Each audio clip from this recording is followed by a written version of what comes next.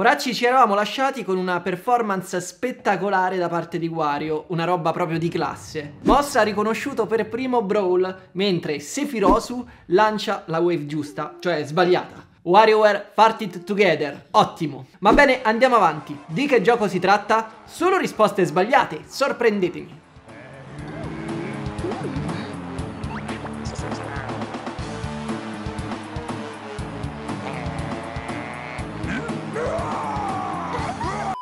Poracci, bentornati o benvenuti su TG Poro, l'unico format di YouTube Italia dove si parla di videogiochi, ma solo di quelli usciti su GameCube.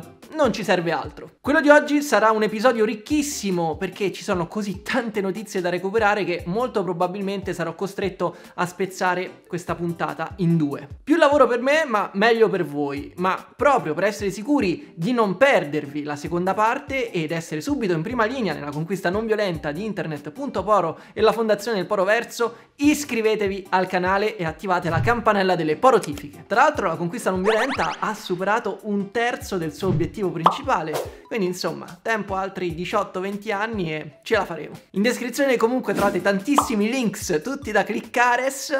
Ho detto tutto. Iniziamo!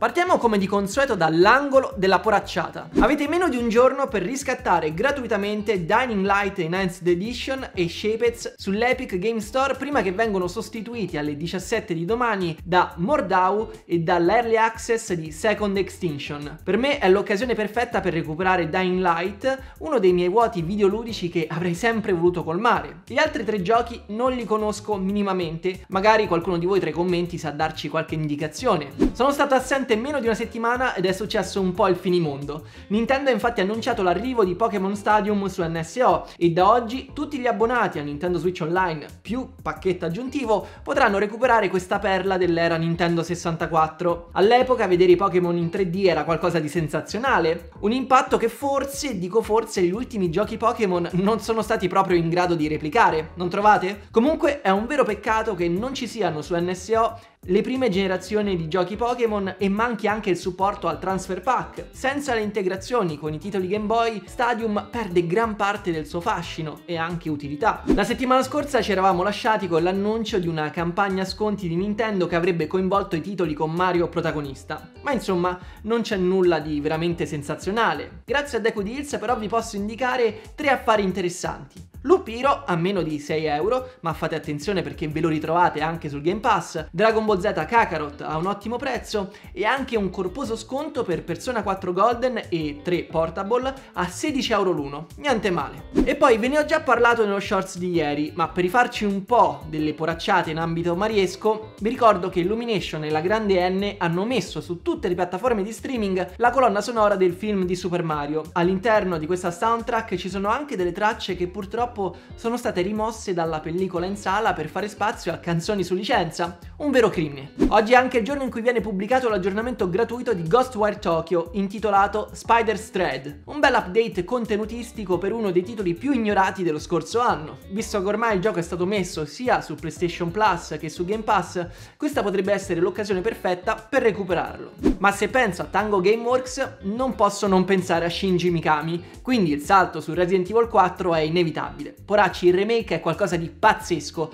L'ho finito qualche giorno fa e ne sono rimasto veramente estasiato. Passerei ore a dirvi il perché, ci troviamo di fronte a un capolaporo, ma questo è un TG Poro e non c'è spazio per le recensioni. Però intanto, visto che siamo nei pressi dell'angolo della poracciata, vi ricordo che è stato recentemente reso disponibile l'update gratuito I Mercenari, che aggiunge l'iconica modalità arcade presente nell'originale. E nel mentre il remake di Resi 4 ha sorpassato le 4 milioni di copie vendute, diventando così il secondo titolo della serie a raggiungere più velocemente questo traguardo. Il campione rimane Resident Evil 6 un mistero della fede. Parliamo un attimo di recensioni invece. Venerdì uscirà la Mega Man Battle Network Legacy Collection, la raccolta che racchiude tutti i titoli della serie apparsi su Game Boy Advance. Le prime recensioni promuovono appieno questa collection che, nonostante il prezzo pieno, mette a disposizione degli utenti centinaia e centinaia di ore di gameplay. Questa sorta di rivisitazione di Pokémon in chiave Mega Man, dove i mostriciattoli vengono sostituiti dai chip, conserva intatto tutto il suo fascino originale. C'è però un grandissimo problema. Per ora la versione fisica è stata annunciata solo per il mercato nordamericano. Perché Capcom? Perché? A proposito di collection, passiamo da Capcom a Konami. L'azienda giapponese negli ultimi anni si è distinta principalmente per tirare fuori delle collection di tutto rispetto e a quanto pare la Kawabanga Collection, la raccolta contenente 13 titoli storici delle tartarughe ninja, ha riscosso un discreto successo, anzi un ottimo successo, oltre un milione di copie vendute. E quindi siamo ufficialmente nella nuova Golden Age delle Teenage Mutant Ninja Turtles. Dopo Shredder's Revenge e questa collection, le aspettative sono altissime per The Last Ronin, l'action adventure in stile God of War basato sull'omonima graphic novel. E chissà chi lo svilupperà. Ma mentre aspettiamo con pazienza, rivolgiamoci a qualcosa di molto più vicino nel tempo. Infatti sembra un sogno, ma no, è realtà. L'uscita di Advance Wars Reboot Camp è dietro l'angolo il 21 aprile e le anteprime confermano un po' quello che tutti quanti ci aspettavamo e che eravamo pronti ad accogliere già l'anno scorso. Il lavoro svolto da WayForward è estremamente fedele e rispettoso dell'originale apparso su Game Boy Advance. Mentre il comparto grafico è stato completamente modernizzato, l'ossatura del gameplay rimane sostanzialmente invariata, nonostante qualche aggiunta alla quality of life. Io sono curiosissimo di provarlo, ma vi devo fare una confessione. Mi era stato offerto di recensirlo, ma purtroppo ho dovuto rifiutare. Ho veramente troppo poco tempo a disposizione e un titolo come Advance Wars rischia di impegnare per decine e decine di ore. E io tutto questo tempo purtroppo non ce l'ho. Voi lo prenderete al lancio? E per chiudere questa prima parte è giusto anche citare un altro avvenimento epocale avvenuto in casa EA. Sappiamo già da tempo che la rottura tra Electronic Arts e FIFA è ormai definitiva e la popolare serie del gioco del calcio videoludico da quest'anno perderà i diritti ufficiali, comportando anche un significativo cambio di nome. EA Sports FC prenderà il posto di FIFA e ora abbiamo anche il primo logo ufficiale, incentrato sul triangolo, una figura geometrica che da sempre ha accompagnato la storia storia della serie. Maggiori dettagli sul gioco arriveranno a luglio, intanto però ditemi, che ne pensate? Secondo voi EA riuscirà a vendere lo stesso tantissimo anche senza le licenze FIFA? Ma passiamo a quelle che magari non sono proprio le notizie del giorno, ma sono comunque quelle più importanti. Chi lo decide? Lo decido io. Fate molta attenzione perché il ritorno di Metroid Prime potrebbe in realtà essere solo l'inizio del risorgimento gamecubico, perché secondo un recente rumor potrebbe palesarsi dal nulla il ritorno del miglior Paper Mario di sempre. E se avete pensato a Super Paper Mario siete delle brutte, brutte persone, perché è ovvio che il migliore di tutti è il portale millenario, un gioco che ha rappresentato il pinnacolo qualitativo della serie e soprattutto l'ultimo vero JRPG, visto che negli episodi seguenti le componenti da gioco di ruolo sono andate via via sparendo. Ora, secondo un utente su Famiboards, il ricercatissimo gioco GameCube starebbe per essere riproposto su Switch. Per Pikmin Snetskov, grandissimo nick, la remaster del portale millenario, un progetto portato avanti internamente da Intelligent System, sarebbe prossima all'uscita e a confermarlo sarebbero ben tre fonti differenti. La data è lasciata intenzionalmente sul vago perché una delle tre fonti non sarebbe d'accordo con quanto riportato dalle altre due, quindi l'autore del post preferisce non sbilanciarsi. Non c'è molto altro da aggiungere al post, ma se questo presunto leak ha iniziato a far parlare molto di sé è perché ci sono parecchi elementi che giocano a favore di un tale scenario anzi scemario. Innanzitutto abbiamo un Paper Mario ogni circa 4 anni e sebbene con un po' di anticipo la remaster potrebbe colmare il gap con Origami King e allo stesso tempo potrebbe rappresentare una sorta di antipasto in attesa che nuovi titoli e produzioni più corpose vengano annunciate per un nuovo hardware. Allo stesso tempo, considerando che Origami King fu svelato pochi mesi prima della sua uscita, una pubblicazione di questa remaster per settembre-ottobre potrebbe essere perfetta per colmare l'assenza di un titolo di Mario nel 2023 e sfruttare l'entusiasmo generato dal film appena uscito. E per chiudere, c'è un altro fattore da non sottovalutare. Dopo Metroid Prime, il ritorno di Baten Kaitos e i rumor sempre più pressanti su F0GX, c'è chiaramente l'intenzione di sfruttare la libreria GameCube in questo periodo storico. Immagino che una remaster di Paper Mario sia molto meno impegnativa da fare rispetto a Metroid Prime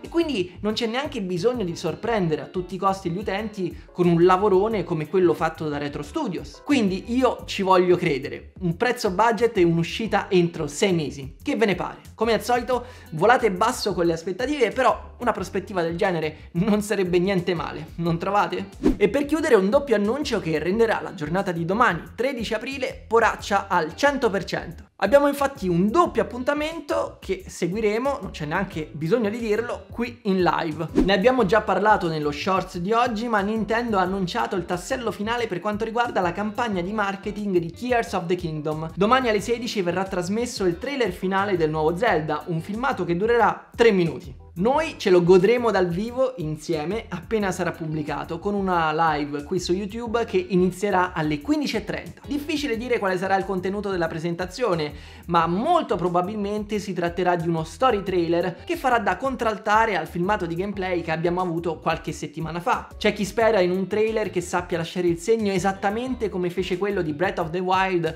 ormai parecchi anni fa. L'hype è a mille e ormai non so se ve ne rendete conto, ma manca solo un mese all'uscita di Tears of the Kingdom, non aggiungo altro. Ma le live non finiscono qui perché alle 23 sarà il turno invece di un nuovo State of Play dedicato interamente a Final Fantasy XVI. In circa 20 minuti di presentazione avremo nuovi dettagli sull'ambientazione di gioco, sui suoi personaggi e anche sul combat system. Qui secondo me siamo all'esatto opposto di Zelda. Se per Tears of the Kingdom le informazioni sono state rilasciate col contagocce, mi sembra di aver visto anche troppo di Final Fantasy XVI. L'uscita è prevista per il 22 giugno e mi sembra un po' frettoloso un evento del genere, prendendo in considerazione sia le recenti preview, ma anche il gameplay esteso del PAX East. Però si tratta sempre di uno dei titoli più attesi dell'anno e, di nuovo, noi ci vedremo una mezz'ora prima, alle 22.30, per seguire insieme l'evento. Chissà, magari Square e Sony potrebbero decidere di rilasciare una demo in chiusura dello State of Play. Che dite? È plausibile uno shadow drop del genere? E questo però era tutto per oggi, vi ringrazio per essere arrivati fino in fondo e vi aspetto qua sotto nei commenti per continuare a discutere insieme delle notizie del giorno. Noi ci vediamo domani con una doppia live, mi raccomando, vi voglio carichissimi ma soprattutto riposati. Quindi fate bei sogni dormendo Sonic tranquilli, riposatevi nerdando duro e nerdate duro nerdando duro. È chiaro, no? Noi ci vediamo domani. Io sono il Poro Paper, Michele Mario. Ciao!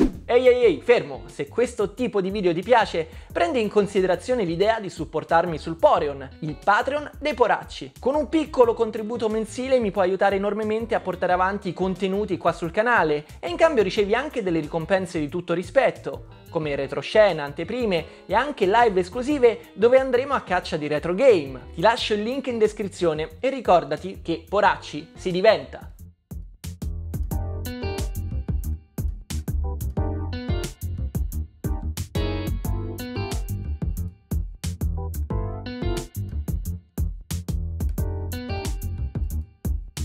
Allora, non so se ho messo a fuoco, ma riregistro tutto. Gesù.